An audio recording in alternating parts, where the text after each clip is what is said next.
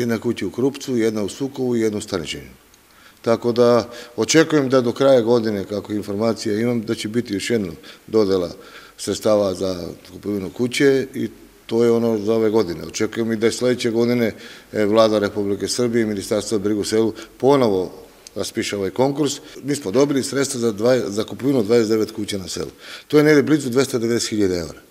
Moram priznati da to nije malo i ja se zahvaljujem i vladi Republike Srbije i ministarstvu koji je izašao susret i nama kao gradu Pirotu i pomogu da pokušamo da nešto uradimo sa, sa selima.